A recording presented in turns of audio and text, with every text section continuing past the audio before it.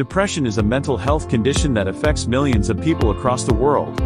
While most people associate depression with feelings of sadness or hopelessness, this condition also has a significant impact on your physical health. In fact, depression can be a major risk factor for a range of different health hazards, including heart disease, stroke, and diabetes. One of the primary ways that depression impacts your health is through its effect on your immune system.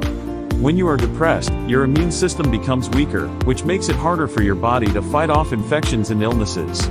This can lead to a higher risk of developing chronic inflammation, which has been linked to a range of different health problems. Depression can also increase your risk of developing heart disease and stroke. This is because depression can cause changes in your heart rate and blood pressure, which in turn can increase your risk of developing these conditions. Additionally, depression is often linked to other lifestyle factors that can contribute to heart disease, such as smoking, overeating, and lack of physical activity. Finally, depression can also affect your body's ability to regulate blood sugar levels, which can increase your risk of developing diabetes.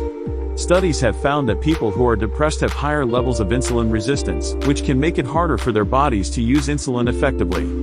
This can increase the likelihood of developing type 2 diabetes.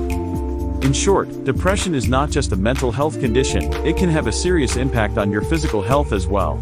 If you are struggling with depression, it is important to seek professional help in order to get the support you need to manage this condition. Through treatment and self-care strategies, it is possible to reduce the impact of depression on your health and well-being.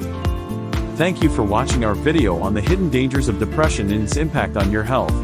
We hope you found this information helpful. If you enjoyed this video, please subscribe to our channel for more content like this in the future.